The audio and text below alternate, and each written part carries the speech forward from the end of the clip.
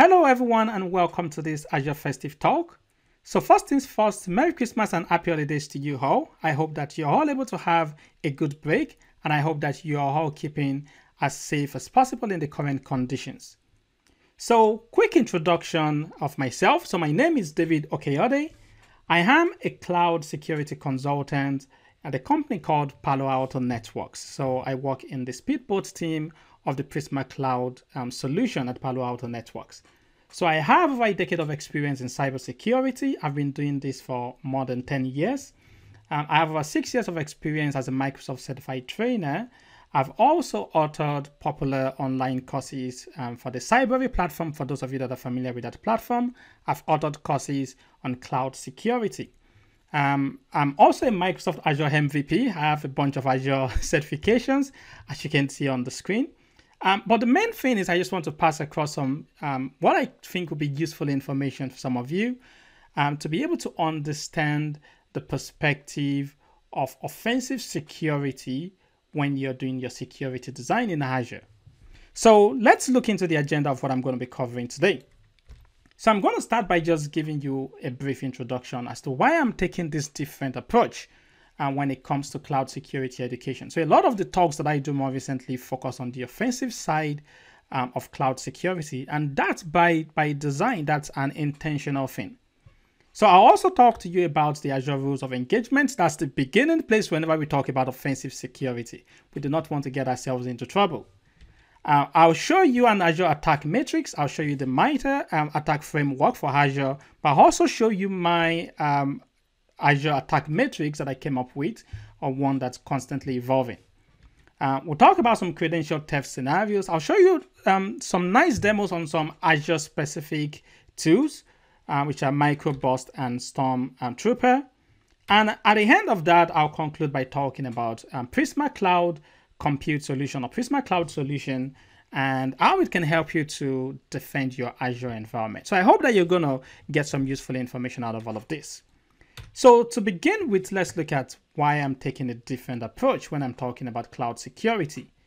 So the number one reason is that there's a lot of presentations and talks and videos that focus on Azure security best practices. I mean, you can go on YouTube right now and type in Azure security best practices and you come up with a lot of very wonderful talks.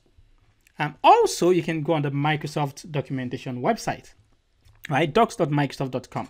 And you find very, very good documentation from Microsoft on best practices for different Azure services and for the Azure cloud platforms itself. You have the cloud adoption framework documents that Microsoft put out. Again, very wonderful documentation. So there's a, a lot out there already when we're talking about uh, how to use services and best practices, right? But there's not as much out there when we talk about the offensive side of cloud security. Um, also, understanding attacker behavior is an important part of cybersecurity education. We know this with traditional security, right? That's why we have disciplines like ethical hacking, offensive security, where we have certifications that are geared towards those, because that's an important part of cybersecurity education. Being able to see things from the perspective of an adversary can help you become a better architect when you're designing your solutions in Azure so rather than just seeing just general best practice, being able to think and see how an adversary will approach your systems when they look at it. Like what somebody rightly said, um, architect and administrator thinks in terms of lists, but an attacker thinks in terms of graphs, our things connected. And it's important for us to see that perspective when we're designing our solutions on Azure. And it's also important for us to learn what not to do from looking at the failures of others. Why we have a very popular bridge that's going around with, with um, the SolarWinds bridge. And one of the things that people are doing is people are trying to learn lessons. How did that happen? How can how could that have been prevented? How could we stop something like that from happening again? Right. And that's part of like offensive security education. So, but before we um, make any progress, let's um, give sort of like a disclaimer as at June of 2017, Microsoft no longer requires organizations to obtain a pre-approval to conduct a penetration test against their Azure resources. But it's important to also note that that need um, the, the, the, need um, or, or, the exemption to not put in a pre-approval that only applies to Azure. That doesn't cover things like Office 365 or Dynamics 365. So keep that in mind. It's also important to note that even though we may not need to inform Microsoft ahead of time when we are conducting a pen testing of our environment and our applications, we also have boundaries that we have to stay within those boundaries. We have to comply with certain rules of engagement when we're doing any pen testing activity in Azure. And failure to comply with the rules of engagement can lead to our accounts being suspended or terminated by Microsoft, legal action being brought against us by Microsoft, or even um, financial claims being made against us by Microsoft. So let's be aware of that. My recommendation to you is to go to the URL that you're looking at on your screen right now.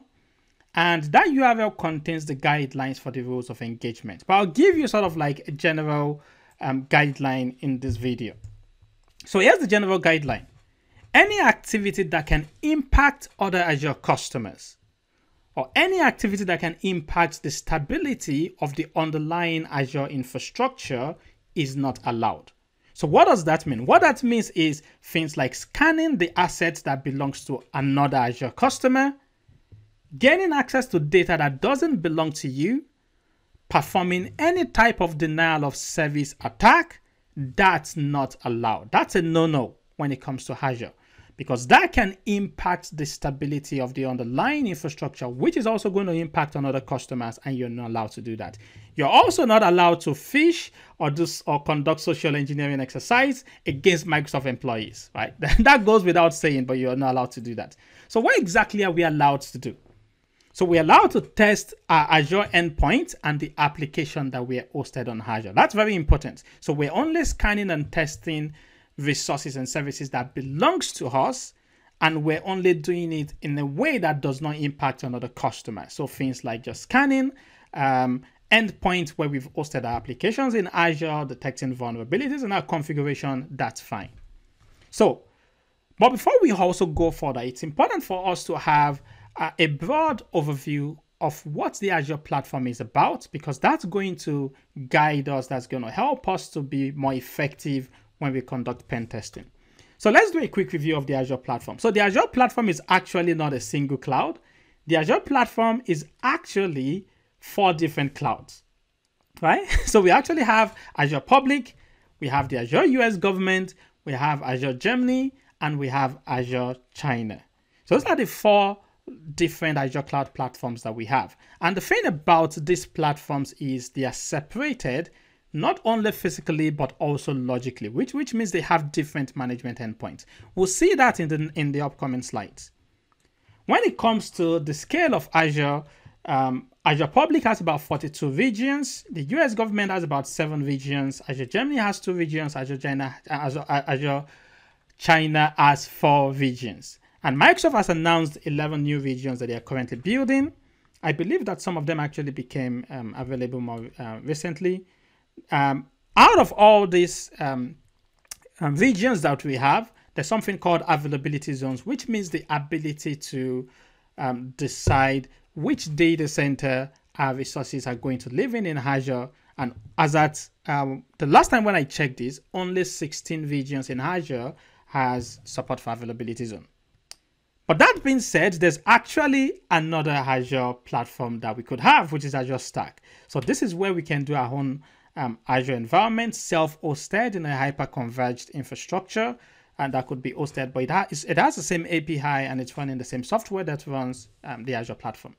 So let's um, have a look at the implications of what we've talked about. So the implication of this is that the management endpoints, like we said, and they are logically separated when we're looking at the platforms. So when you're doing pen testing, you have to be clear uh, as to which environment or which platform is it that your customer has resources, right? Or your client has resources. Do they have resources in only Azure Public? The endpoints are different. So for example, the endpoint for resource management for Azure Public, it's what you're looking at on the screen now, right? That's management.azure.com.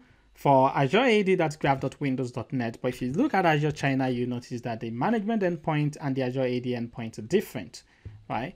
And it's the same for Azure Germany. You can see that it has a different management endpoint, it has a different Azure AD endpoint, and the US government also has a different management endpoint and different Azure AD endpoint. Okay, so let's move on very quickly. We want to get to the real cool stuff, the demos. So in order for us to understand the Azure architecture, um, it's important for us to understand the methods to interact with that platform because that's also important to, to us as pen testers, right? So um, these are the different ways that we can interact with the Azure platform. So using the Azure portal, using command line tools like Azure PowerShell or Azure CLI, or using just REST client. Um, and if you're using something like Azure PowerShell or Azure CLI, you're communicating, you're, you're using the Azure SDK. So essentially, those, these are just wrappers around the SDK. Now, however, regardless of which tool that we're using to communicate with Azure, we're communicating with a single endpoint called Azure Resource Manager right? So Azure Resource Manager is the single management endpoint for the Azure platform. So, and Azure Resource Manager uses Azure AD for authentication. So, in order for you to be able to have any management access to Azure, you have to authenticate to Azure AD, either using a um, user account, a service principal, a managed identity, and then you'll be able to communicate with what are called resource providers, which are the different services responsible for um, different resource types in, in, Azure, right? And the services themselves, some of them also support um, authentication with Azure AD on the data plane. So in other words, we can do authentication with Azure AD um, on the management plane, but also on the data plane for some of the services. Anyways, let's get to the interesting bit. When it comes to offensive security of Azure, um, or when we talk about offensive security in, in general, the MITRE um, framework usually comes up. And this is talking about the a document that describes the tactics, the techniques, the procedures that attackers use um, against the Azure environment. So um, it's a globally accessible knowledge base of adversary tactics, um, techniques, and procedures. You can access the framework for Azure. You can access it by going to the URL that you can see on your screen. And this is what the current framework looks like as at today. So that's what it currently looks like. So that being said, I personally prefer using mine. So I'll go over to switch to my Azure Attack Matrix and show you like the things that we're going to be talking about. So when we talk about the Azure Attack Matrix, I want you to think about this like ob as objectives. These are the different objectives that um, an adversary will be looking to achieve in a victim's Azure environment. So we have things like discovery. And discovery is referring to um, an attacker has the aim to learn about the victim's environment. Let's identify what the attack surface is. Um, let's gather as much information as possible. Let's build a profile of the organization. What cloud accounts do they have? What services do they have in those cloud accounts? How are those services configured? What applications are hosted on those services? So those are the type of things that an attacker is trying to establish in the discovery phase. And there are two sides to discovery as we'll see in the follow-up slide. So discovery could be done in an anonymous way. In other words, you're doing that from the perspective of, of an outsider that knows nothing about the um, victim's environment, right? So that's done in an anonymous way. Or it could also be, if it, if, let's say it's like a paid engagement, that could be a case where the client actually provides you with credentials into the Azure environment in an Azure breach, um, scenario. And then with those credentials, you can conduct your pen testing. So anyways, let's go to some other point and I'll move very quickly here. So we have credential access. So credential access is, the, is where an attacker is looking to um, gain access to account information. So things like um, user usernames and password, um, tokens, um, or access tokens that has permission in the victim's Azure environment. And they could use different methods like guessing the credentials or um, credential dumping or keylogin malware, and just different methods that an attacker could use to um, access credentials for a customer's Azure environment. So um, we have initial access. So initial access, um, at, at this stage, what the attacker is trying to do is to exploit a weakness in the victim's environment in order to gain a foothold in the environment. So what weakness can we exploit, right? So that could range all the way from cloud credential compromise, that could be um, just a weak or a default credential that's used in a service, that could be application vulnerability, that could even be trusted relationship through a third party that's been given access into your environment. Then we have execution. So this is where an attacker is looking to run some code in the victim's environment. So typically you're seeing things like server-side request forgery. Um, Azure services have some type of protection uh, against basic um, SSRF type attacks.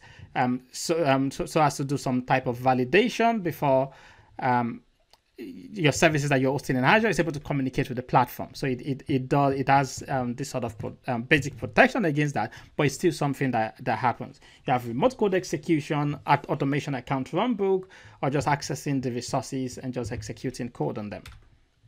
Then we have privileged escalation. So this is where an attacker is looking to gain more access beyond what they currently have. So how can I improve the permissions that I'm able to do within this customer's environment? Maybe it's only read-only access at the moment. How can I escalate that to where I can begin to make modifications within the environment? Maybe I can begin to open some backdoors within the environment. So, and there are different techniques that an attacker um, can use to um, achieve those objectives. And we have defense evasion. So this is where an attacker is looking to ensure that they're not detected. Right? Dwell time is very important when we're talking about offensive security. Dwell time is the time from when um, an attacker gains a foothold in the environment to when their activities are detected and they essentially they're, they're kicked out of the, of the environment. Right. So the longer the dwell time, then the more auditing and scrubbing that you need to do because the attacker essentially has sufficient time to really move around your network and your Azure um, infrastructure and your Azure environment. And you have an idea what they've planted. So you have to do like a proper audit to be able to identify what's happened in those cases. Um, so what makes the difference from an attacking perspective as to how long the dwell time would be would be how good you have defense evasion, right? So that could be things like disabling security services or modifying the trusted list to allow the attacker's IP address. Uh, the other one that's that, that's very interesting also is the um, is targeting unused cloud regions. I'll give you a good example of that. So, for example, if you have like Azure, uh, if you're if you're using um, Azure Network Watcher, you you'll be familiar with a feature called NSG Flow Logs, which allows you to be able to enable login for your network security groups, collect all those network logs, and then perform some analysis on them. However, uh, not all regions in Azure currently has um, network watcher support, right? So which means if an attacker has this sort of information, an attacker could then target to deploy resources into those regions, knowing that you can't enable NSG flow logs, and it's going to be much more difficult for you to detect the activity from a network perspective. So anyways, let's move on very quickly. We have lateral movement, which is where an attacker maybe has been able to compromise a resource, but they're looking to compromise even more resources within the environment, and they have different techniques that are used. Um, a good one is where an attacker is essentially trying to, um, or they've gained a credential and they're, they're going to start accessing um, the Kubernetes API and then begin to pivot into the workloads that you actually have deployed um, in the environment. So let's clear all of that. Um, okay, so let's move on to that. Okay, so then we have persistence. So this is where an attacker um, is trying to persist the activity in the environment. And they're trying to say, if you're able to detect my activity and kick me out of the environment, how can I um, how can I be able to gain access even after you've kicked out my initial method of, of access of, of entry into your environment? So the, essentially that's talking about trying to plant like a backdoor into the environment, so speak. And then we have the impact, which is where the attacker is looking to cause view damages, whether that's um, data destruction, whether that's um, data exfiltration, database dumping, denial of service attack, hijacking your resources, um, crypto mining, whatever that is, they're trying to uh, get get some um, get some kind of impact against your environment. So what I'll be doing today is I'll just touch on a few of these because you can see that there's a lot of them. However, if you're not yet following me on YouTube, follow me on YouTube, subscribe to my YouTube channel because what I'm going to be doing is every single technique that you're seeing on the screen Starting from the beginning of next year, I'll actually be diving into each of them very slowly and very carefully So if you're interested in that sort of information, make sure you subscribe to my YouTube channel uh, so that you can get notified when I put out um, these videos. Okay, so let's look at the discovery, right? So this is where an attacker again is trying to learn about the environment. And so, for example, like we have the cloud provider IP range scan. With um, Microsoft Azure, Microsoft publishes the IP address range of the Azure platform, the different regions, the different services. They publish a JSON file and they keep it up to date weekly, and that's available for anyone to download. What an attacker could do from an anonymous perspective. So this is not an assume preach situation, but from an anonymous perspective, an attacker could download that JSON file and then scan those IP address ranges right? So scan the IP address ranges for virtual machines in UK South and learn what services are listening. Um, that's not encouraged by Microsoft for you to scan IP addresses that don't belong to you. If you're if you're uh, in an engagement with a client, you probably want to get the clients to uh, give you a list of the IP addresses that are currently allocated to their um, environment, and then you can target those. But then an attacker could then essentially just run a scan using those IP addresses and identify what services are listening on those IP addresses, what ports are opening, uh, or sorry, what ports are open, and then with that information begin to look for vulnerabilities, right? So that's one way to discover in an anonymous way. Um, another way to discover in an anonymous way is using, and by the way, if you see me look into the side, that's because I've got like this draw screen and I'm trying to have a look at the large presentation on, on this other side. So anyways, so but um, the IP address is usually more effective when we're talking about infrastructure as a service like um, virtual machines, virtual machine scale sets, Windows, virtual desktops. But when we're talking about cloud services, cloud platform services, um, you're typically doing some kind of DNS enumeration here. Now, the thing to understand about Azure Platform Services is that many of them use DNS suffixes that are owned and managed by Microsoft.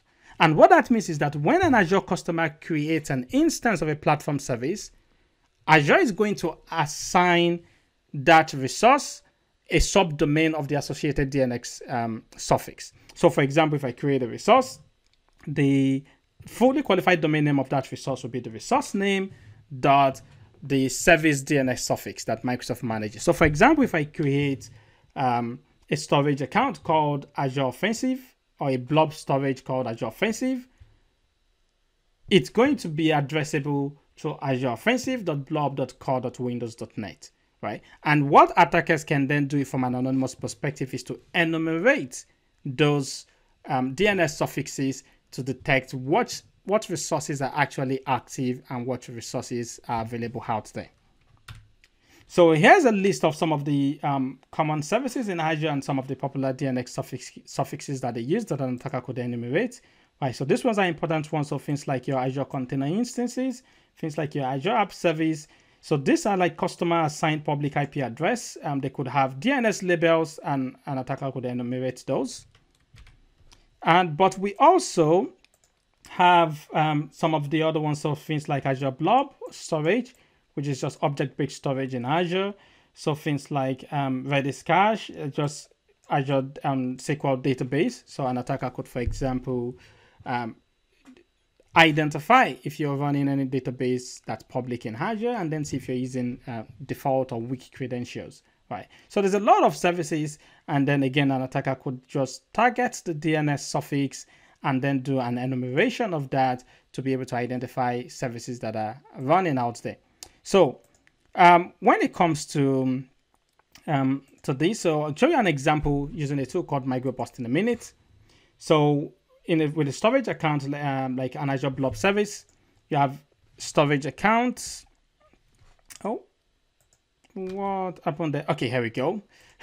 so storage account, um, when you're using like the blob service of the Azure storage account, you have the storage account, you have your container, and then you have your object.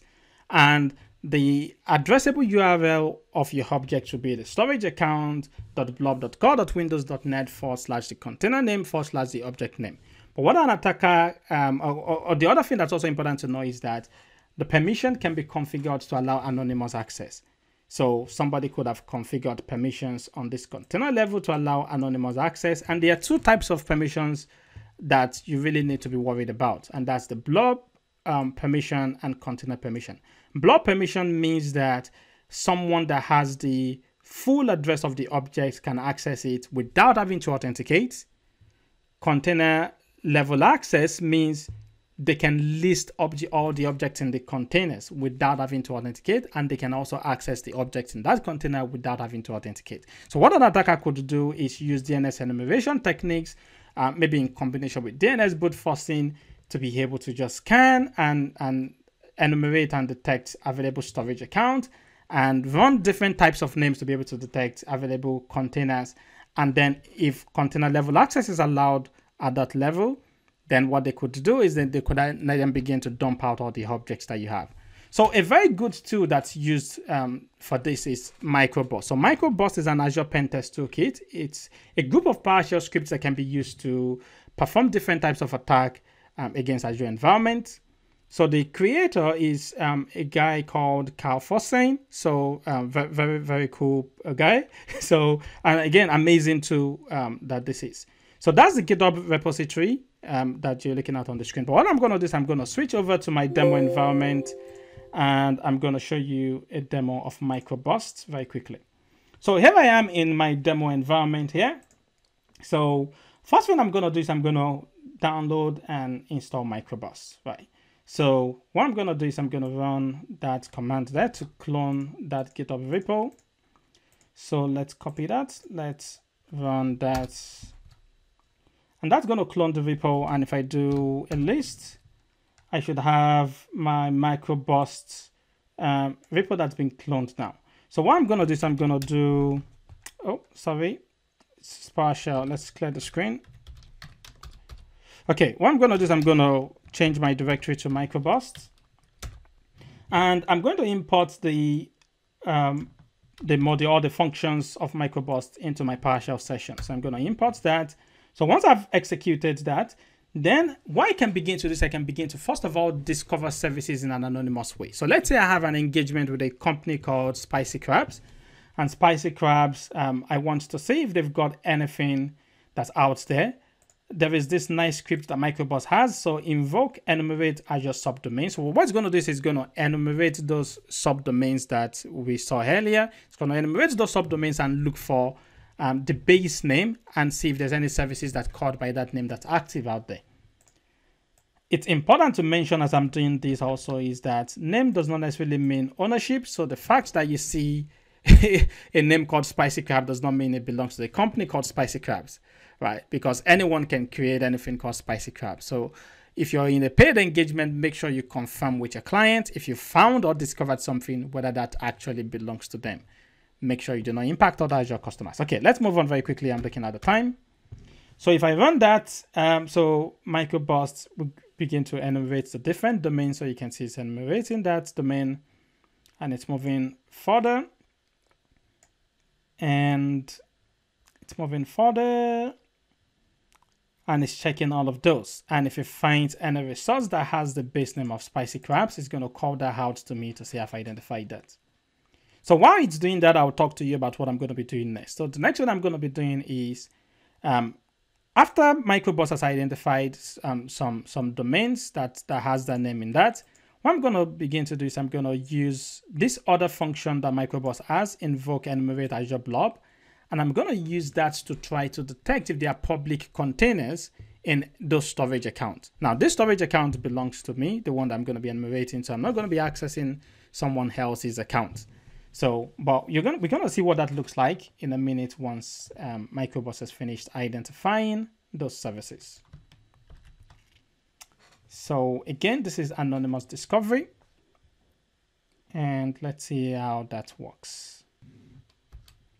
And there we go. So Microburst has done its thing. And what it's done is it's identified certain services. So it's identified that there's an app service called Spicy Crabs Azure website that's active. And Azure App Service Management, Key Vault, um, Azure Blob. So it's identified a bunch of services that's available out there. So the one that's very interesting to me is this blob service, right? So now I know that that belongs to me, that doesn't belong to another customer. So again, from an anonymous perspective, I can use this other command of microburst to begin to enumerate that and see if there's any public container that exists in it. And if, it, if there's any public containers, what are the objects that I can access from that? So if I run that against my environment now, so let's see what Microburst is going to come up with. And what it's doing is um, there's a list that's built into Microburst. So actually, you know what? While we're doing that, I'll show you that list.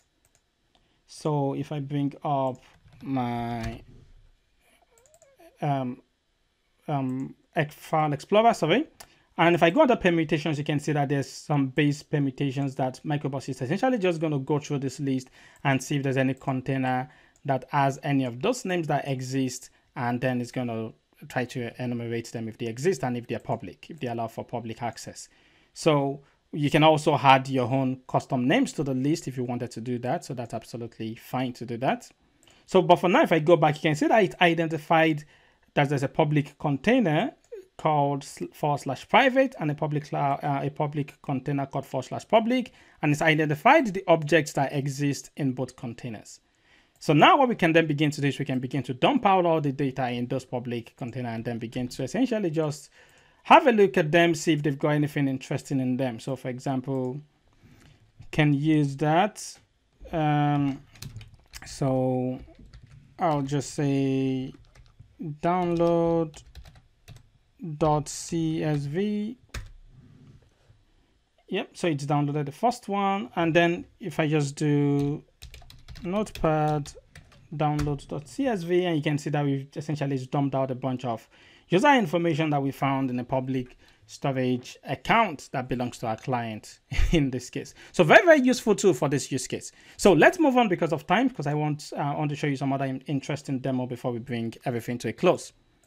So we, we can't really complete our talk about when we talk about um, enumerating platform services without talking about subdomain takeover because that's something that you see that's also um, common these days. So subdomain takeover is where an attacker has discovered that there's a dangling DNS or an, a DNS that's not that's pointing to an Azure resource that no longer exists, and then they can sort of claim that. So the way that it works is you have a victim's Azure environment. So in this case, the victim has a traffic manager resource called Spicy Crabs App Content One that's um, uh, seven that that's essentially um, managing the entry point for a backend app service instance. So in this case, um, the, the customer has a, or the client has a CNAME, content1.spicycrabs.xyz that's pointing to that name, the DNS name of that resource. And then whenever a user goes to access that, they access through the CNAME, um, resolve the CNAME, which takes them to Traffic Manager, and then they access the resource. But what now happens is the customer deletes that resource. The customer has now updated their DNS that's still pointing to the resource that's now deleted. So now we have a dangling DNS. And if an attacker begins to enumerate the DNS zone of um, this client, for example, and detects that they have certain CNAME that's pointing to Azure resources, and then begin to check out those Azure resources and realize that they're actually not resolving because they no longer exist, what an attacker could then do is an attacker could then go to um, set up their own Azure environment, deploy malicious content on a resource, create a traffic manager, manager resource with that same name, and essentially take over that subdomain so that whenever users goes to talk to that, they're going to be talking to um, the attacker's um, Azure subscription, the attacker's resource, and they're going to be downloading malicious content. So that's one that we've actually seen happen um, quite a few more recently. Um, so just be aware of that. So anyways, let's let's bring um, these to a close. Um, I'll just talk about one more because of the time that we have, and then we'll round up. So the other one I want to talk about, so let's move to initial access now. So we've talked about discovery, um, just uh, anonymous enumeration using Microburst. What about initial access? So once you've discovered resources, you want to access the resources. When we're looking at something like um, cloud credential compromise is one of the um, popular entry points when we talk about this.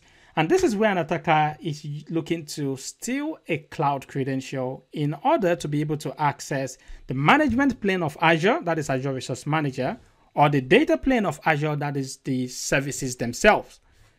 So, what identities or what credentials will an attacker be looking to compromise to allow them this, these types of access? So, the main targets are usually an Azure AD user account, right? So still an Azure AD user account. Um, Azure AD Service Principal, which is a, a, which are application identities, or an Azure AD issued access token. So this is where an authentication process has been completed. The identity now has a cached access token, and uh, an attacker is looking to steal that access token. So what are the methods that they could use when it comes to this this um, cloud credential compromise? So that could be targeting users and admins, maybe phishing attacks, um, installing malware on their on their endpoint and, and downloading their credentials from there, targeting DevOps system, looking for variables that are put in plain text, targeting admin workstation and looking to steal cache credential from there, targeting um, Azure hosted applications that have managed identities assigned to them and looking to steal access tokens from there. So what I'm going to show you very quickly um, because of the time is I'm going to show you um, credential theft from an admin workstation. So this is where an administrator authenticates to Azure AD. Azure AD gives them an access token that they can then use to access the Azure environment, but then the credential is cached on the admin workstation. So what an attacker could do if they're able to compromise that workstation is they can essentially copy the cache credential and then use that to essentially make calls to the victim's environment. So I'll show that to you very, very quickly. So in this case, I have a victim admin account. So you can see admin VM here. And over here, I've got, and uh, let me go over here. I've got the offensive Linux 02, which is the offensive account and I'm using. So what I'm going to do is I'm going to go to the victim's account. If I do AZ group list, you can see that the user is already authenticated and they can list resources. They have management access to this. However, if I do a list of Azure, eh, the access tokens that are cached locally on this machine, and there is the user's profile that's also local. So if an attacker is able to um, access the system either, through malware or through any other means, so what I could do, for example, is um, what I'm going to do is I'm going to zip up this entire folder. And after zipping up this entire folder, what I'm going to do is I'm just going to upload that to an Azure blob storage. So I'm just going to exfiltrate that. And that's something that an attacker could do using malware. So I've exfiltrated that to an Azure storage. So if I go over to this environment, you can see I have a folder here set up called xfil. If I refresh that, that's the token that's just been stolen from an admin's account. So what we can then do is we can go to the attacker system right now. If I do an AZ group list, let's set that AZ group list. You can see that it's like you're not authenticated, uh, what you're trying to do. So, but what we can do now is I can go down to download the credential that we from an admin account. So downloaded that. If I do a list, let's clear the screen. If I do a list, you can see that credential has now been downloaded. I can now extract that and just apply that to my system. And if I run that, so that's now applied to my system. If I clear the screen again. Now, if I run the AZ group list that failed earlier, now that's successful. So essentially, I'm now operating as that admin. And now that you have access as the admin, you can begin to do things like what who's the who's the admin that this credential belongs to? You know, show me who I am, what permission does the admin has, and begin to do all those information. So what I'm gonna do now is once you have this sort of credential, you can then begin to use another tool called um, a tool like Storm um, Storm Spotter to begin to enumerate the account. So Storm Spotter is an Azure AD graphing tool. So sort of like the ways people have described this is Bloodhound for Azure.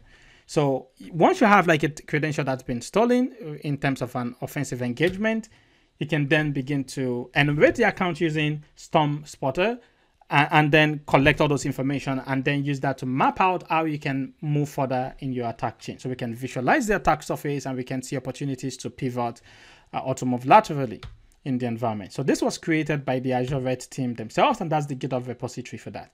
So the way that Storm um, Spotter works is there are two sides. So there's a client side, which is called Storm Collector, and there's a server side, which is called Storm Spotter.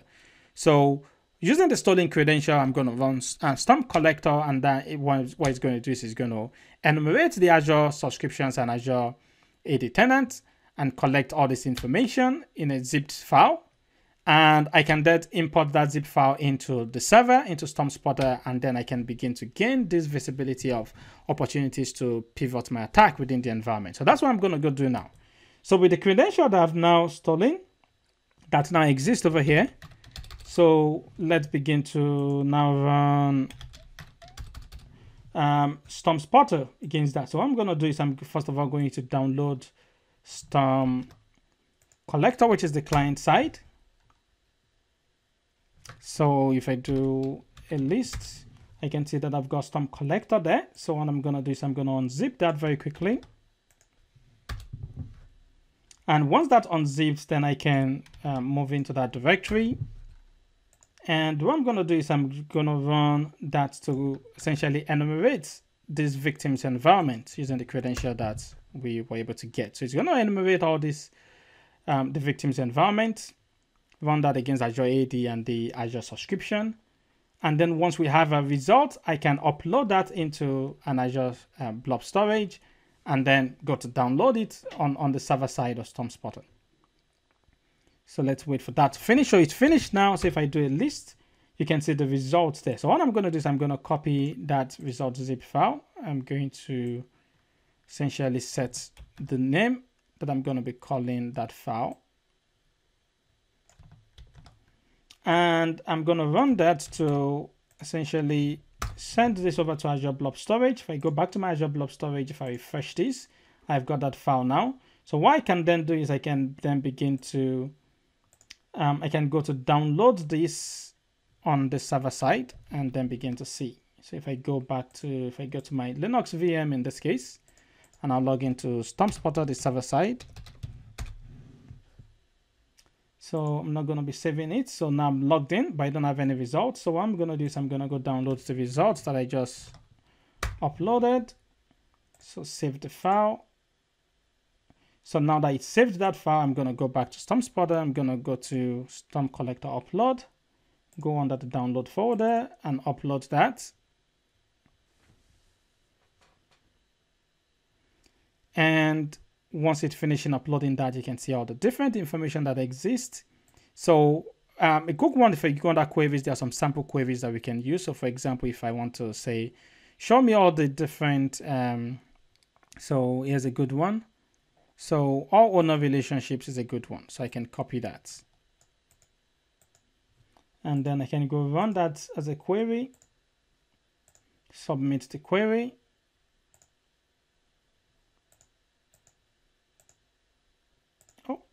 Am I missing something? Um, okay, so let's do all our back relationships. Let's do that.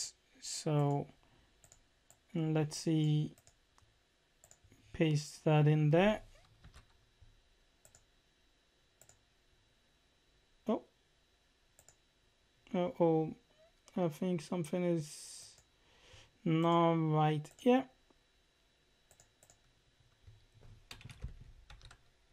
So let's try that again.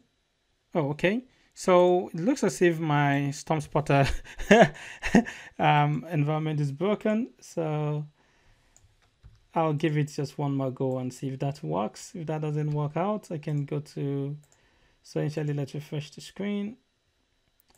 Let's give that another go.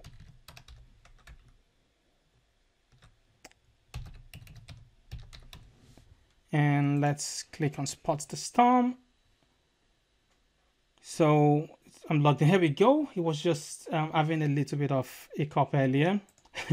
So let's go to run so that's company administrator relationship and then you can begin to see who has member of company administrator. So now you can begin to visualize things as graphs. And that's what we like um, as um, offensive security people want to visualize things as graphs. If I submit that query, and this is very um, important information there. So let's go move things around a bit. So it's essentially specifying there's a subscription there. Certain people has owners to that. So I can see who has owner to that subscription. I can see who has contributor permissions to that. Right? I can see, so essentially you can now begin to see, okay, so these people have this level of permission and this resource has this level of permission. And then how can we pivot uh, uh, activities in this victim's environment? So anyway, so hopefully that was useful to you. Hopefully you got some um, useful information from that. So what I'm going to do is I'm going to round up um, with just some other information here. So the information I'm going to round up with is talking about Prisma Cloud. So this is on the attacking side of things. There's also a defense side, right? So the defense side, um, usually you're looking at a tool like Prisma Cloud, which is a tool that's created by Palo Alto, an amazing tool that does uh, essentially all the different capabilities that you're looking at on the screen.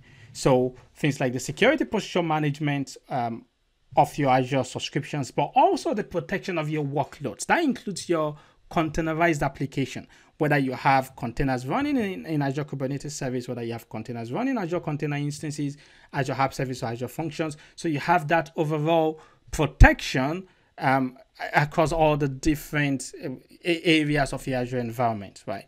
So you have to onboard your Azure account and onboard your workloads into it, and then Prisma Cloud can begin to protect it. Um, what I'm going to be doing, if you're again, if you've not yet followed my YouTube channel, make sure you do so because what I'm going to be doing is I'm going to be going through all those different attack um, techniques that I listed in in the matrix that I put together. I'm going to be going through that and I'm also going to be showing you how Prisma Cloud defends that site, how you can essentially stop those attacks in the tracks from being successful and being able to de detect like an active engagement almost immediately. So again, make sure that you follow follow my YouTube channel and I'll be able to talk more um, about that. So Prisma Cloud can ingest um, your config metadata in Azure, your audit logs, your network flow logs, and it's going to allow you to be able to use that to essentially ask any sort of question in, against your Azure environment, right? Where you can say, um, can you tell me where all these different activities have occurred and can you show me all this information that's occurred in my environment right and it also has like built-in machine learning algorithms that can identify any anomalies that's going on in your environment like some of the ones that i've done would, would have been flagged by prisma cloud to say that's not right in terms of the commands that i was running so anyways, follow my YouTube channel and you'll be able to get the full gist over there. So I think I'm way uh, I am above time in terms of what I want to cover. Again, thanks very much for watching this video. I hope you all have um, amazing holidays and have a wonderful Christmas. If you are not familiar with what my YouTube channel is, that's my YouTube channel on the screen over there. There is an Azure Meetup group that I also host, which is also focused on offensive security. Um, so if you go to meetup.com, Azure Cloud Security Meetup group, make sure you join that group. I have a blog called azurehangout.com and that's my Twitter profile. So thanks very much for watching this video and I'll see you next time. Happy holidays, everyone.